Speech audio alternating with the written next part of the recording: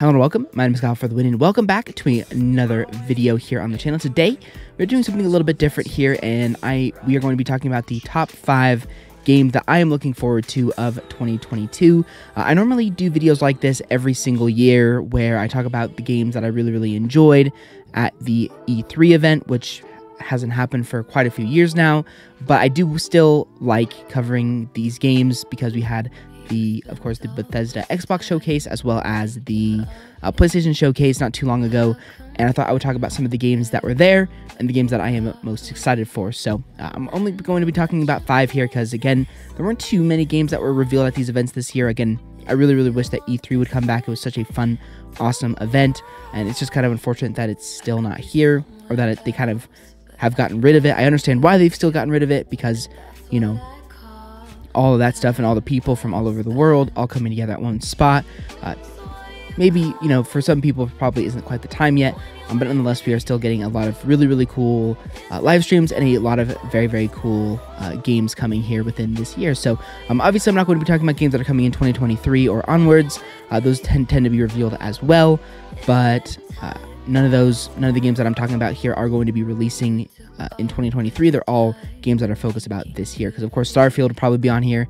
That's a 2023 release, so we're just focusing uh, here on 2022. So, anyways, without further ado, let's go ahead and get into it. Starting off here with the first thing, as the first game at the number five spot that I'm most looking forward to with 2022 is I know this is probably super super obvious, but it's Call of Duty Modern Warfare 2. I mean, if you guys have been around the channel at all, you know that. I mean, I'm a Call of Duty channel. So obviously, I am looking forward to the new Call of Duty game every year. Uh, you know, I really enjoyed watching the gameplay that we were given and everything of that nature. I just thought that it looked really, really cool with all of the new uh, modern setting, all the new uh, modern engine and everything like that. And, and overall, I was really, really happy with the gameplay that we saw during the PlayStation event. And again, I'm just really, really looking forward to the game as per usual. Um, so what I'm going to be doing now is I'm going to jump into the reveal trailer just in case you guys missed it. So I will see you guys in a second.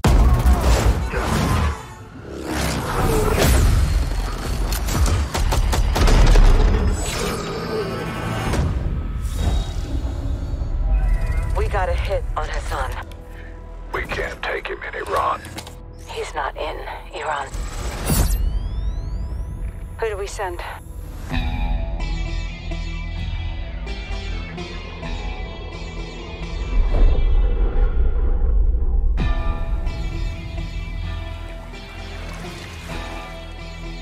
All right, lads, well, we're in position. Bravo team offloads here. Alpha team stays on board to land downrange. This is capture or kill. Ya son más de 10 años metiéndole y todavía sueno como nuevo. Barbie no tiene relevo, me sobra el dinero, el respeto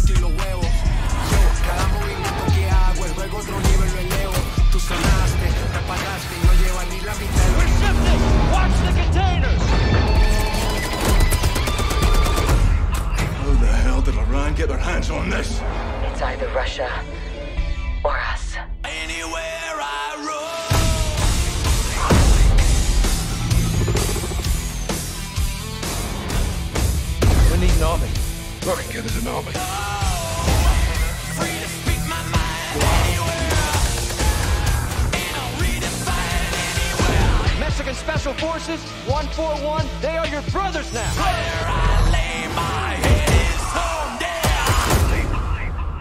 there. Weapons hard, vaqueros.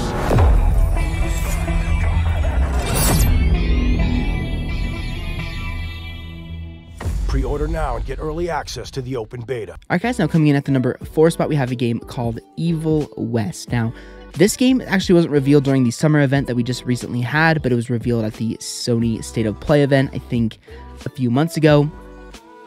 And this game was just really, really intriguing. It looks sort of like a, it's obviously a, it takes place in the West. It's a Western cowboy themed game, but it also surrounds uh, vampire hunting sort of stuff and it just looks really really cool what one of the things that i really liked about how this game is the combat looked really really fun really immersive and it looked like a like one of those shooter games sort of like i don't know horizon zero dawn that's just really kind of fast paced focuses on sort of elemental uh, abilities and elemental weapons and it just looks really really cool. I really like the sort of atmosphere of the game. I like the sound of the main character. And overall just looks really really cool. And enjoy the little snippet of gameplay. I have a bad feeling about this. One wrong move and we're dead in the water. The one right move, and you could catch her and end this war. Young Rentier, still on your father's leash, I see. What did you see while Felicity was in your head? Death.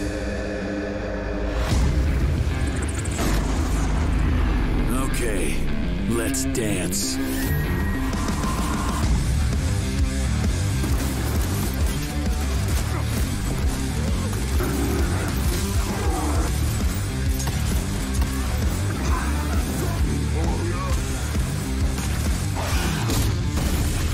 Yeah, that was predictable.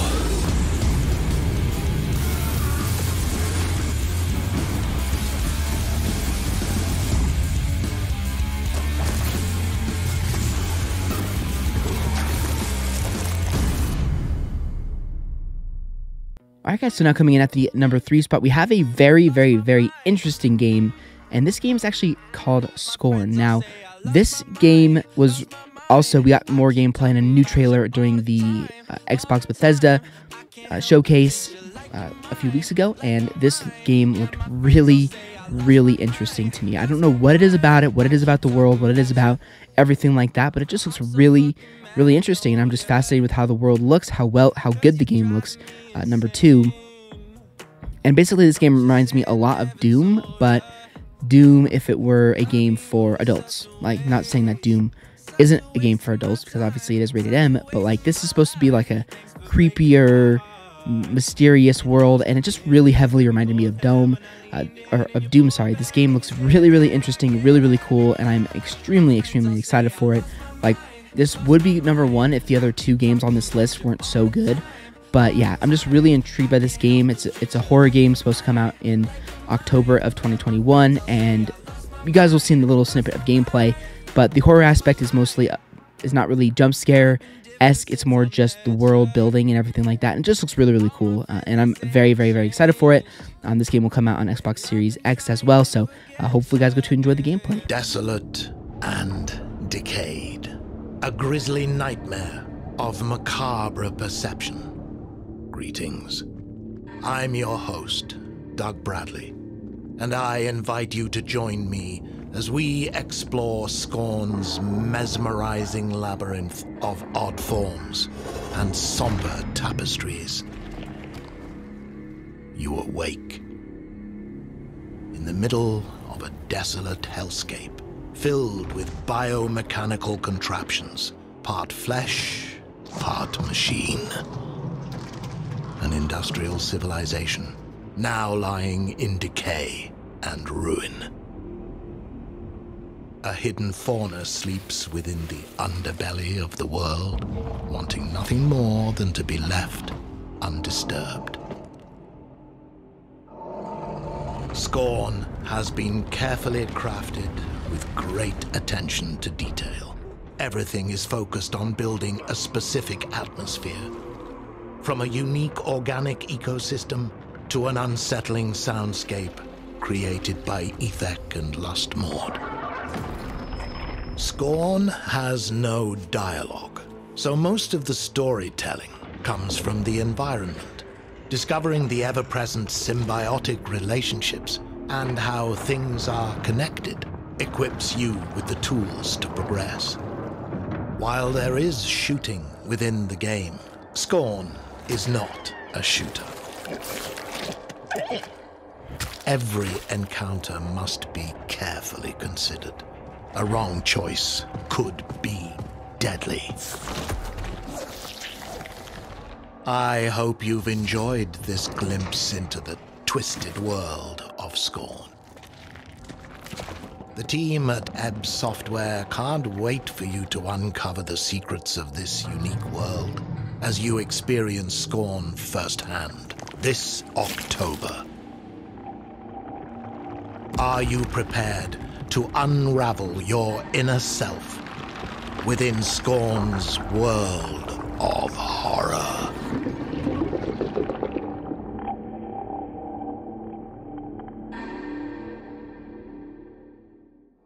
All right, guys, now jumping in here at the number two spot for the number two game that I am most looking forward to of 2022, we have ourselves the game called Callisto Protocol. Now, I don't really like horror games that much, which seems like, well, why would you have it on the list?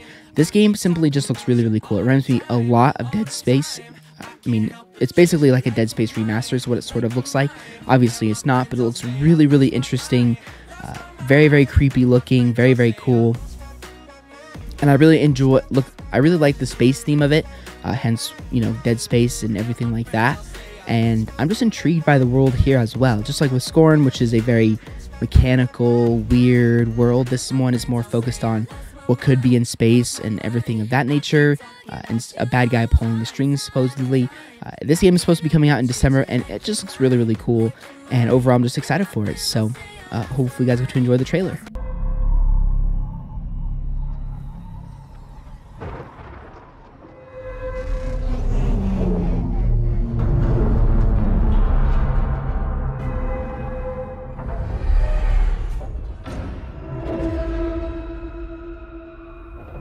Take a look outside. Did you know that they call Callisto the Dead Moon? Dead. Just like you would have been if I hadn't fished you out of that wreck. So whatever you're holding on to right there, that's your old life. You gotta let that go. Because your new life is entirely in my hands. I'm just trying to give you a chance at rebirth.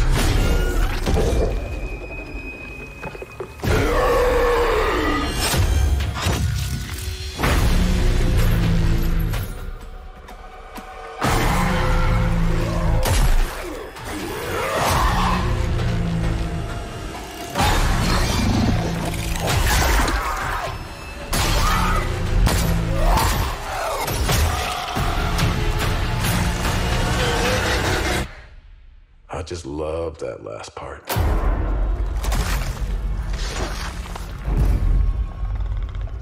Gives me chills every time.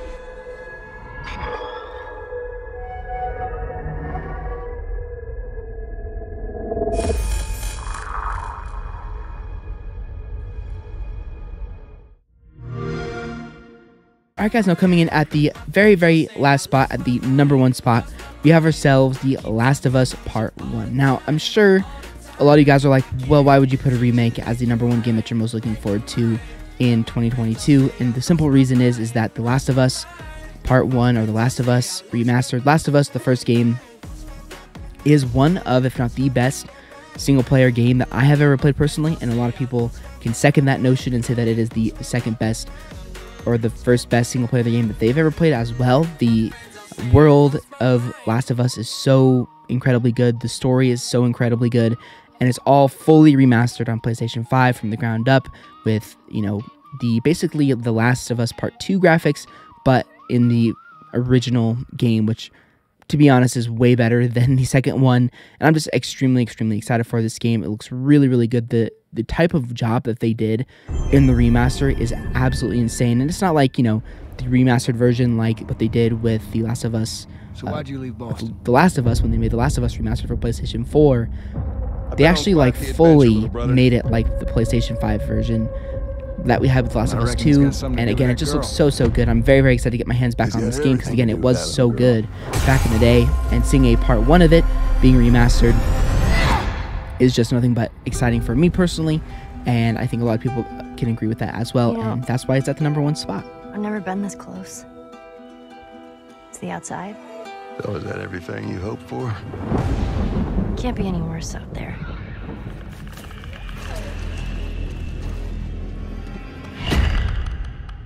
Can it?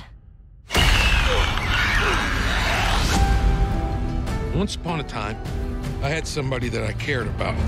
And in this world, that's good for one thing get you killed. I can take care of myself. How many close calls have we had?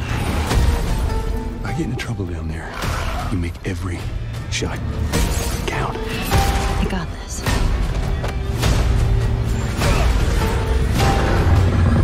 Hope you know how to use that thing. I've had some practice. Alright guys, well that is going to do it for this list. Let me know what your guys' thoughts are about all of the games that I mentioned. If you guys are excited about other specific game, please let me know down below within the comment section. I just thought that it would be a fun video to do because I just always like exploring single player games. I'm a huge, huge single player game fan as well. Uh, a lot of you guys just see me upload Call of Duty, but I'm just, I really enjoy single player games from time to time. I have a stack about a mile long of single player games that I still haven't played yet that I just really, really love uh, single player games. So yeah, these are all games that I'm excited about and games that I'm that I'm definitely wanting to play.